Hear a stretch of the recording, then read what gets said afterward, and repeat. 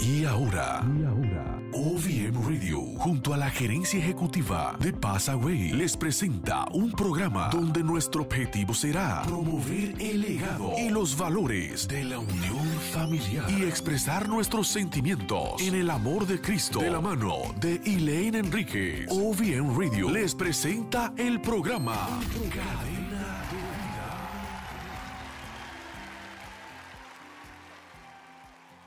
Bienvenidos al programa Cadena de Vida, el desafío de Dios para el ser humano, para que tengan vida y vida en abundancia. Ese es el tema de hoy a conversación. Conmigo se encuentra Andrés Señor, director gerente de Passaway, y también vía Skype desde Argentina tenemos al pastor Marcelo Zacarías. Bienvenidos. Muchas gracias. Gracias, muchísimas gracias por este tiempo. Bueno, pues el programa está hoy muy interesante, Andrés, Pastor, pero qué lindo es hablar de Pass Away, especialmente que amamos tantos a nuestros familiares y cuando ellos parten, pues nos queda como una tristeza, pero podemos interiorizar la paz a través de plasmar sus recuerdos en fotos, historiales, videos. Andrés, gracias por hacer de Pass Away algo que la familia puede, eh, pues a través de esas historias, seguir recordando y traer a vida esas personas que tanto amamos. Sí, bueno, primero muchas gracias eh, por la invitación al programa. Eh, para la gente que no sabe qué es Passaway, Passaway es una plataforma en línea para recordar la memoria de nuestros seres queridos difuntos, de nuestros antepasados, de nuestros ancestros. Queremos recordar sus vivencias, sus, eh, todas sus, eh, toda esa cantidad de experiencias que ellos han tenido y queremos celebrar sus vidas.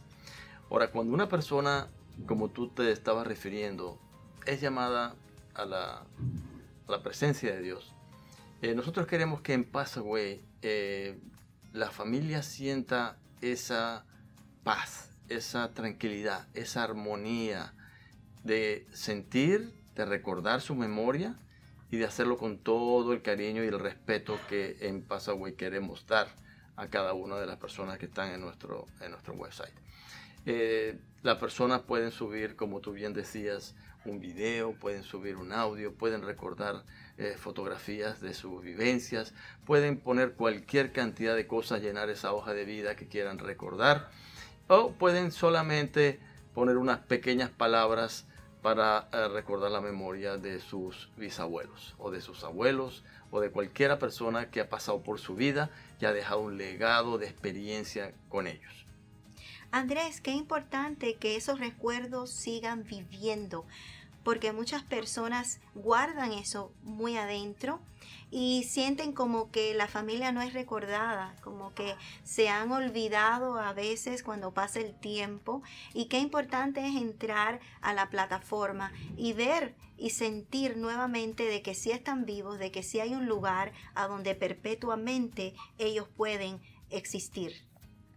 Eso es realmente lo más importante, de que la, la persona, sobre todo en estos últimos tiempos, hay una tendencia muy grande a que las personas sean cremadas y muchas veces esas personas eh, dan sus cenizas al aire, en cualquier sitio. Entonces no tienen un sitio físico donde la persona puede pasar el duelo. Queremos en Pasagüey de que haya ese sitio que ellos vean, recordar esa memoria, recordar esa vivencia, pasar ese momento tan difícil de duelo que puede ser por mucho tiempo y que puedan realmente tener un sitio donde podamos recordarlos. Una de nuestras, eh, eh, de nuestras eh, máximas en Pasagüey es vivirán mientras los recordemos. Queremos recordarlos, queremos vivir ese legado y queremos que esas experiencias lleguen a algo para mejorar la vida de las personas que realmente están, están aquí. O sea que tenemos que hacer un doble trabajo y esfuerzo. Gracias Andrés. Y Andrés, hoy traemos un tema muy interesante que es el desafío hacia el ser humano. Vamos a ir al pastor para que el pastor nos comparta, nos des lucidez, nos aclare el porqué, el desafío de la palabra de Dios hacia el ser humano. Gracias, pastor. Por favor, gracias por la invitación y por poder compartir este tiempo con ustedes. Qué interesante el desafío que Dios nos da a través de la palabra. Sí, muy importante es sobre este pasaje que hablábamos de que Jesús se compromete a darnos vida y vida en abundancia. Quizás lo primero que tendríamos que decir que es, es parte de este pasaje, comienza diciendo que el enemigo, que el ladrón vino a hurtar, a matar y a destruir. Y podemos decir que en alguna traducción dice que lo que el enemigo viene a traer es ruina, pero que Jesús nos ofrece una vida en abundancia. Y cuando habla de esta vida en abundancia está hablando de que fuimos destinados para vivir una vida en plenitud. Jesús se entregó para que nosotros podamos alcanzar y vivir esa vida en plenitud. Ahora, uno no puede vivir una vida en plenitud si no entiende primero el propósito de su vida, ¿no? Siempre decimos que el hombre está buscando y, y busca en diferentes formas de entender para qué está en esta tierra, para qué nació, para qué vive. Y muchas veces al último que le pregunta es al Creador.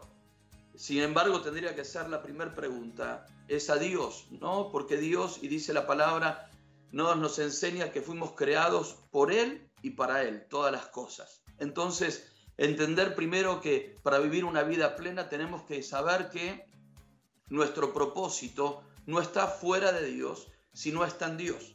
Y es la invitación de Jesús a que podamos caminar cada día con Él para poder disfrutar esta plenitud de vida que Él ya nos entregó. Así es, pastor. Y hay que definir la palabra vida y vida en abundancia, porque enseguida las personas pueden pensar monetariamente, beneficios, eh, pues obviamente en lo natural. Estamos hablando espiritualmente, estamos hablando de una paz que sobrepasa todo entendimiento, de una sabiduría que es mucho más que lo que el mundo ofrece y lo que el mundo nos hace entender. Seguro. Sí, muchos pueden malinterpretar, como bien decías, en que la gente puede decir, bueno, la vida en abundancia tiene que ver con la prosperidad, con el dinero, con las cosas materiales, pero estamos hablando desde el plano espiritual. Por eso ponía de en contraparte lo que el enemigo de nuestras almas es lo que viene a hacer, ¿no? Él viene a traer ruina y cuando habla de ruina está hablando de que no puedas alcanzar el propósito y el plan que Dios tiene para tu vida, está hablando de querer destruir de una u otra manera eh, no tu economía, sino la vida que Dios nos ha prometido y poder vivirla en plenitud.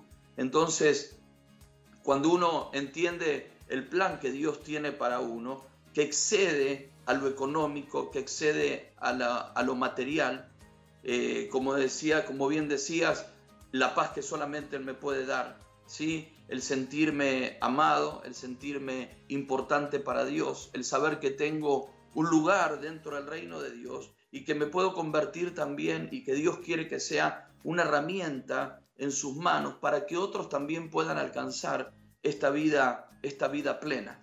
Entonces no nos podemos quedar solamente eh, con lo material, ¿sí? que eso es consecuencia también y de esta vida abundante. Así Jesús resumió ahí en Mateo capítulo 6 diciendo que los gentiles buscan en primer lugar todas estas cosas que son las cosas materiales y, qué van a comer, qué van a beber, pero dice que nosotros tenemos que buscar primeramente el reino de Dios y su justicia y que todas las demás cosas vendrían por añadidura. Entonces si uno puede poner a Dios en primer lugar, puede encontrar en Dios el propósito de su vida puede comenzar a vivir esta vida plena y todo lo demás va a ser consecuencia de esta comunión y de este caminar con Dios. Lo otro va a venir con el tiempo, va a ser consecuencia, como dije recién, de vivir tomado de la mano de Dios y comenzar a vivir primero esta vida plena desde adentro hacia afuera. Y es muy importante tener ese encuentro con Dios, es muy importante porque eso transforma nuestras vidas aquellos que realmente tienen ese encuentro con el Señor. E, e, esa es una clave muy importante que para mí significa todo. Seguro. es el comienzo de todas las cosas, ¿no? El poder encontrarnos con un Dios vivo, con un Dios real, con un Dios verdadero. No solamente, eh, muchas veces tenemos la, experiencia eh, y venimos arrastrando la experiencia eh, de la religión, ¿no? De que tengo que hacer cosas para que Dios me ame, tengo que hacer cosas para que Dios me acepte, tengo que hacer cosas para estar bien con Dios. ¿no? Los otros días hablaba con la iglesia y les decía, a veces necesitamos sacarnos ese chip que la religión nos impuso, quizás cuando éramos chicos, de que si hacíamos las cosas mal, ¿no? Y esta fue mi experiencia, si haces las cosas mal, nos decían nuestros papás, Dios te va a castigar. Entonces uno tiene esa imagen de un Dios distante. Yo siempre digo, no eh, que nadie lo tome mal, del viejo de barba que está sentado en un trono y que tiene un palo en la mano y está esperando que yo me equivoque para estirar la mano y, castigarme. Pero cuando uno tiene una experiencia verdadera con Dios y descubre al Dios verdadero, se va a dar cuenta que toda esa imagen era una imagen errónea, una imagen equívoca de quién realmente es, es Dios, ¿no? Y puede empezar a experimentar al acercarse a Dios que Dios es un Dios amoroso, que está mucho más cerca de lo que muchas veces creemos y pensamos, que Él se hizo uno igual a nosotros para poder hablar con autoridad de lo que es vivir y sufrir quizás, como antes hablaba, ¿no? nuestro hermano, cuando uno sufre las pérdidas, Él sufrió pérdidas, Él sufrió el dolor, Él sufrió también que lo abandonen. Entonces tiene toda la autoridad para venir a nosotros y decirnos, mira, tengo un plan maravilloso para tu vida, yo quiero caminar con vos. Y si vos podés caminar conforme a mi palabra, vas a poder experimentar esta vida plena, que comienza, como bien decías antes, cuando uno le habla el corazón a Dios, le da la oportunidad a Dios que comience a ser, a convertirse en el Señor de su vida, ¿sí? Y poder comenzar a caminar con Él de ahora en adelante. Pastor, Cristo amó la iglesia y se entregó a sí mismo hacia ella. Efesios 5:26. Ahora, esto es algo que a mí me llega personalmente y quiero hacer énfasis. Nosotros como seres humanos también nos debemos de entregar a Dios Padre, Dios Hijo y Dios Espíritu Santo, pero hay personas que confunden la entrega con la conveniencia de la iglesia. Seguro. Creo que tiene que ver un poco con esto que decía antes, que tengo que hacer cosas para que Dios me ame, tengo que hacer cosas para que Dios me acepte.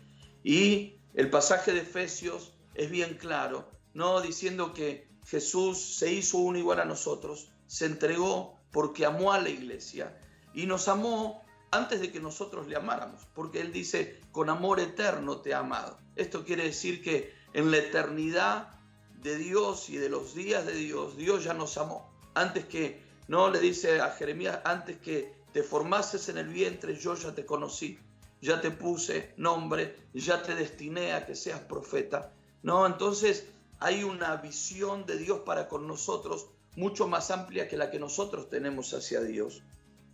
Y es comprensible por nuestra limitación, ¿sí? nuestra mente limitada, ¿no? Pero Dios tiene, no está limitado a nada. Entonces es ahí donde Dios dice, yo te amé de esta manera y yo quiero que comprendas este amor para que tu entrega hacia mí sea una entrega basada en el amor y no basada en un intercambio de que si yo te amo me vas a dar esto, si yo lo amo más a Dios, no, creo que Dios me puede dar más cosas.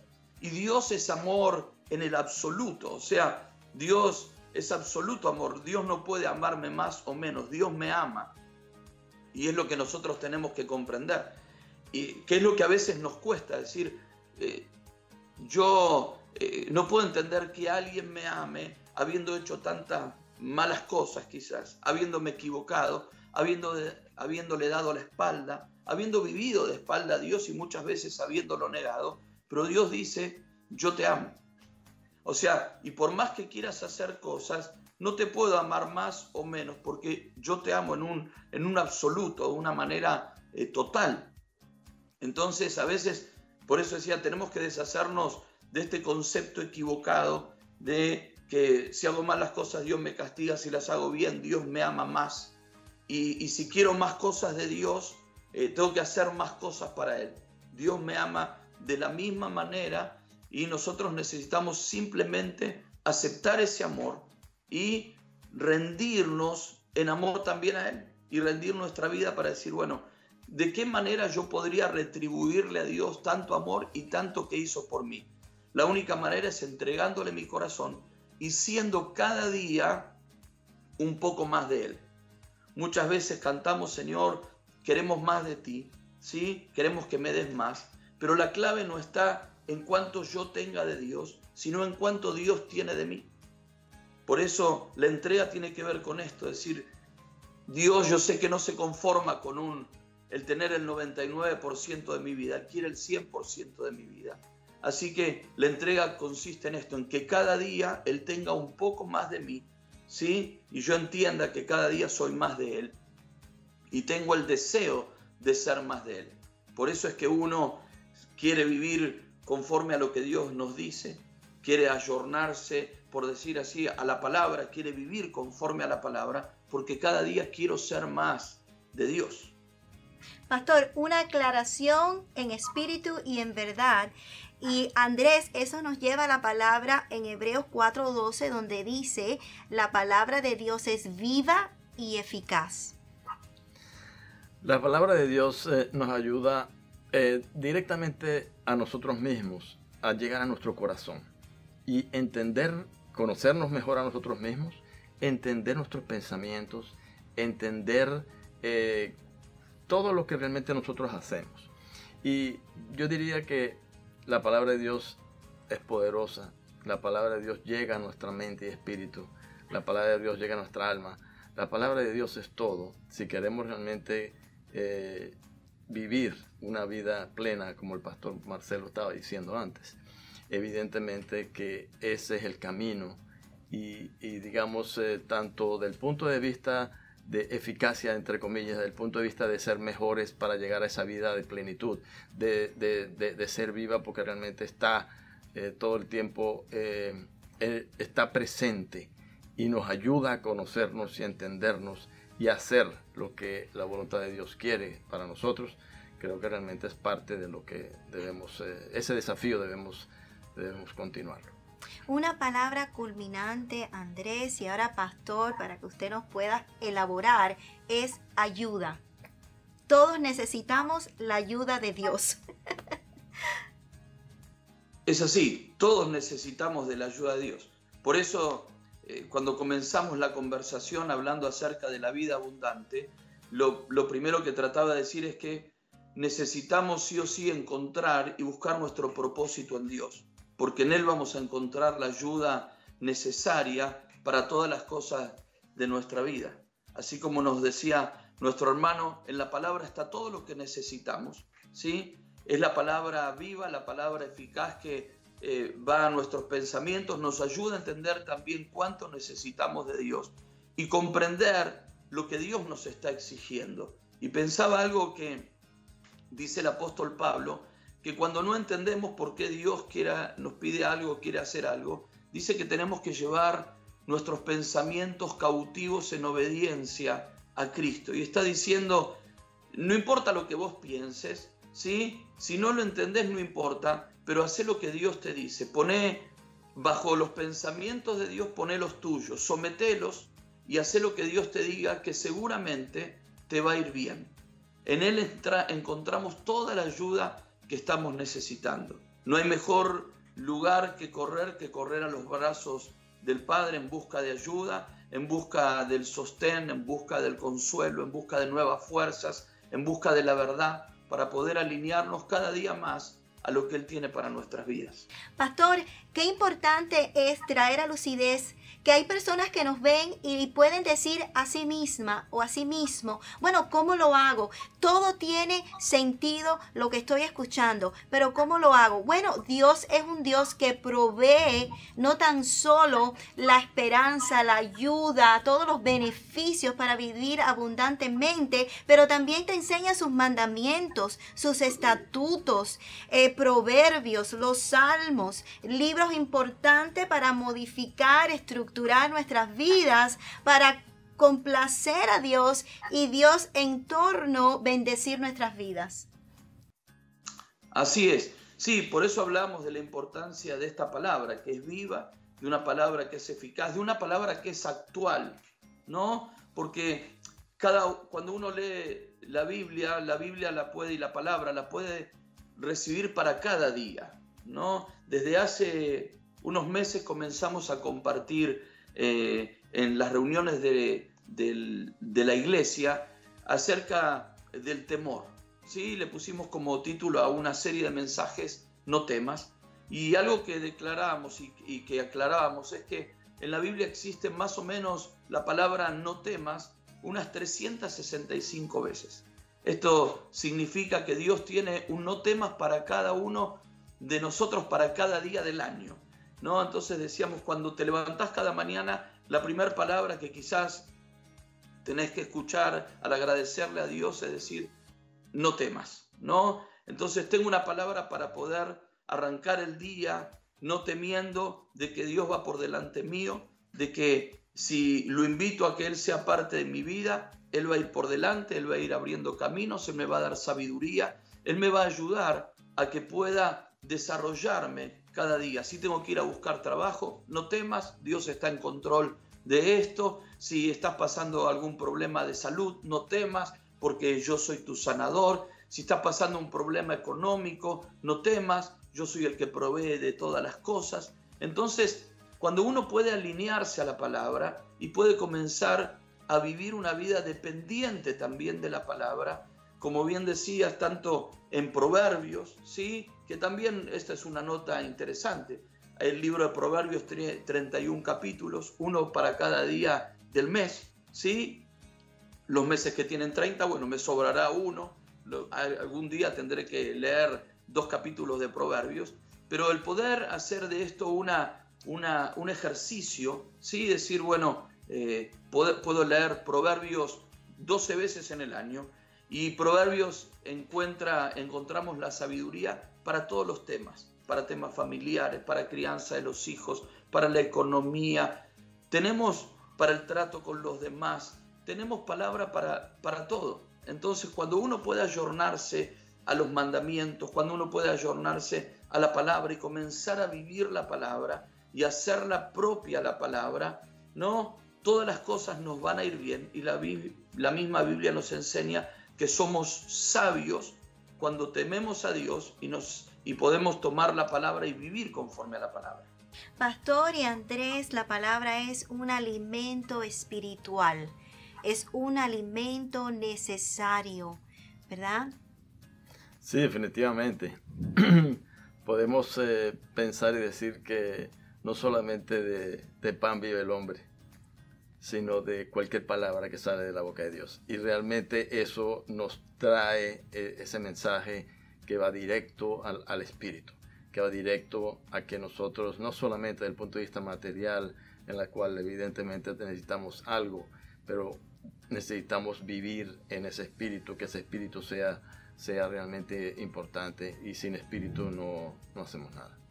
Pastor. Sí, así como necesitamos del alimento para el cuerpo, necesitamos de la palabra para alimentar nuestro espíritu y nuestra alma. Por eso es tan importante y muchas veces como pastores insistimos y decimos, no es un capricho de los pastores, de que usted cada día tome un tiempo, no solamente para orar, sino un tiempo para leer la palabra. Por eso decía recién ahí, uno tomar proverbios, tiene 31 capítulos, leer uno por día, poder leer los evangelios, poder tener cada día, alimentarme con la palabra. Y quizás que esto sea, si uno pudiera hacer que esto sea lo primero que uno hace en el día, antes de poder salir a trabajar, antes de poder salir de la casa, uno sale ya con una palabra de Dios, uno sale alimentado, uno se siente fuerte como para poder enfrentar el día. Yo siempre aconsejo, digo, mira, antes de prender el televisor y poner las noticias, aunque sea para ver cómo está el clima, tómese un tiempo para orar y para leer la palabra. Porque una vez que uno tiene una palabra de Dios, un momento, uno que uno, un tiempo, en un momento que uno ya ha estado con Dios, una vez que uno ya ha estado con Dios, después puede salir con total, con la fe y con la fortaleza necesaria para enfrentar el día. Otra cosa es cuando uno se levanta y lo primero que, que escucha son malas noticias, ¿no? Que terremoto, que muerte, que hambre, que sube las divisas, que bajan y uno ya empieza el día pisando mal, ¿no? Con el pie izquierdo se levanta, por decirlo así. Pero cuando uno se levanta con una palabra de Dios, está listo para poder salir a enfrentar lo que uno tenga en el día, sabiendo que Dios está en control de todas las cosas. Cada vez más estoy agradecida con Dios y agradecida con los directores gerentes de Paso Way, porque este programa es alimenticio. Es un programa que trae a lucidez lo cotidiano, las cosas del mundo hacia la verdad de la palabra, para que la persona pueda buscar en su búsqueda eh, ese aliento de vida que la palabra que Dios solo, solo nos puede dar. Andrés, gracias, gracias por esta oportunidad, quiero decirlo aquí en este programa que estamos muy agradecidos. Y yo sé que toda nuestra audiencia también. Pastor, quisiera tomar este momento para que usted nos hable sobre su ministerio y algún testimonio, algo personal que usted quiera compartir. Bueno, muchísimas gracias. Bueno, bueno, mi nombre ya lo compartimos, Marcelo Zacarías, soy pastor asociado de la Iglesia Catedral de la Fe, el pastor principal es el pastor Osvaldo Carníbal, estamos en Buenos Aires, Argentina, en el barrio de Parque Chacabuco, ¿sí? Eh, bueno, hace unos 35 años que conozco, 34 años que conozco al Señor desde el año 90, ¿sí? que estoy sirviendo a tiempo completo, ¿sí? Eh, con mi esposa hace 30 años que estamos casados, tenemos cinco hijos, tenemos eh, tres nietos, y bueno, en el año 94 estuvimos también, eh, salimos como misioneros al Paraguay, estuvimos durante ocho años y medio en el Paraguay, volvimos a Buenos Aires a trabajar de nuevo con el pastor Osvaldo Carníbal, que es nuestro pastor desde que conocimos al Señor. Y bueno, desde ese tiempo estamos trabajando, hoy estamos trabajando, bueno, como profesor del seminario bíblico, eh, tenemos a cargo con mi esposa, pastoreamos el Ministerio de Matrimonios de la Iglesia, eh, somos los consejeros también pastorales y consejeros espirituales y consejeros de matrimonios eh, de la Iglesia. Y la verdad que Dios nos ha bendecido, nos acompaña en todo momento, ¿sí? Y tenemos reuniones los fines de semana, tenemos una congregación hermosa aquí en, en Buenos Aires y tenemos muchas iglesias también en extensión, así les llamamos como iglesias hijas, las cuales eh, en diferentes ciudades de nuestro país, también tenemos en, Barcelona, en España, en, en, Bolivia, tenemos iglesias donde, bueno, lo que hacemos es simplemente extender el reino de los cielos para que muchos más puedan venir al conocimiento de la verdad.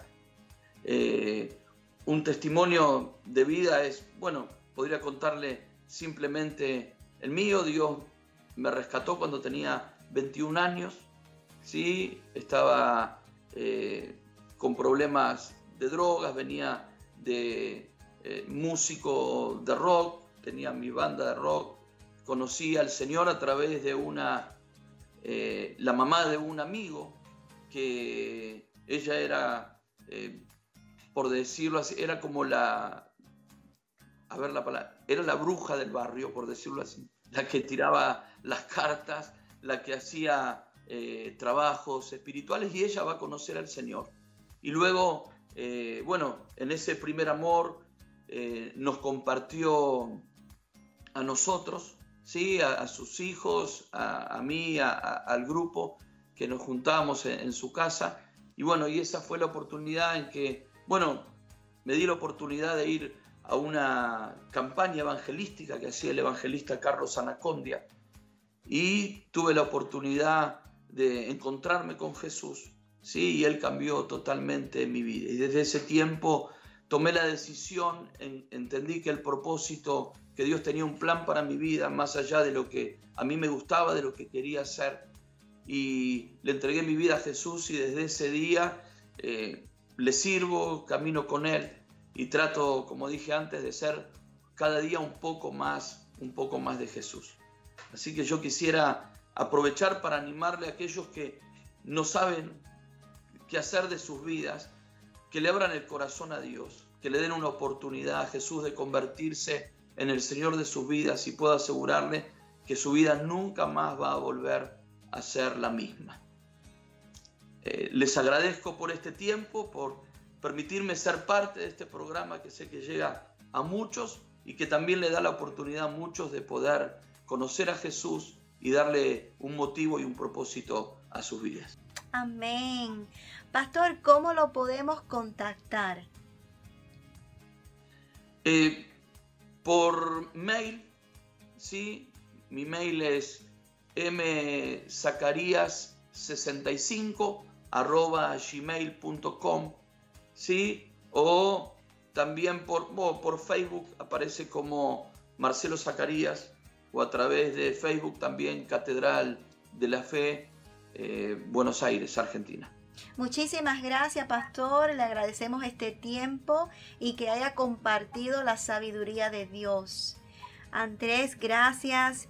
Eh, algunas palabras para el cierre del programa y cómo podemos contactar a passaway.org. Bueno, para dar una especie de, conclusión de, este programa, yo diría que durante toda nuestra vida tenemos muchos desafíos, tenemos adversidades, tenemos eh, contrariedades y digamos contra esos desafíos, eh, digamos, tenemos que luchar y Dios nos ayuda en todo eso. Pero al mismo tiempo tenemos que aceptar el desafío de Dios en el sentido de que la palabra, de que su palabra, de que nosotros debemos ser obedientes, de que debemos seguir realmente sus instrucciones. Y si las seguimos, seguro que vamos a terminar con una vida con muchas más bendiciones y que no solamente para nosotros, sino para nosotros, para nuestras familias y para las familias de las familias, las nuevas generaciones. Con lo cual realmente nuestro programa de cadena de vida sí seguimos siendo un eslabón en esa cadena de vida que debemos recordar y que queremos que esto continúe por siempre, siempre unidos a la palabra de Dios. Amén. Y yo sé que hay diferentes formas que podemos llegar a paso, güey. Sí, eh, bueno, para las personas que quieren comunicarse con Passaway, pueden utilizar nuestro email que es info arroba passaway.org, que es p a s s a w a y.org. Eh, desde cualquier sitio, por supuesto, pueden mandar un email. Pueden entrar a nuestras redes sociales, aparecemos como Facebook, eh, como Passaway LLC, Facebook, Instagram, uh, cualquiera de ellas, Twitter y también eh, la gente que quiere entrar a nuestra plataforma, eh, página web www.passaway.org. Para las personas que están en Estados Unidos, también pueden llamarnos eh, 1844 Passaway, 1855 Passaway y Passaway es 727-7292. Gracias Andrés, gracias Pastor, gracias a todos ustedes. Bueno, mucha información. No pueden decir que no pueden eh, pues contactar a Passaway y al pastor que se encuentra en Argentina y aquí en www.obmradio.com. Aquí tienen una servidora, Elaine Enrique, los ama, los adora y aprecia mucho el tiempo que ustedes comparten con nosotros, porque nosotros apreciamos este tiempo con nuestra audiencia. Los amamos y hasta la próxima. Ya saben, no se lo pueden perder. Acabas de sintonizar el programa Cadena de Vida, conducido por Elaine Enrique, junto a la gerencia ejecutiva de Passaway. Te invitamos a visitar la web www.passaway.org o llama a los teléfonos 1844 Passaway o al 1855 Passaway o escríbenos al correo info arroba passaway.org. Te invitamos a sintonizarnos el próximo miércoles desde las 7 de la noche, solo aquí por tu emisora favorita, OVM Radio y OVM TV, tu emisora informativa en línea para una vida cristiana mejor.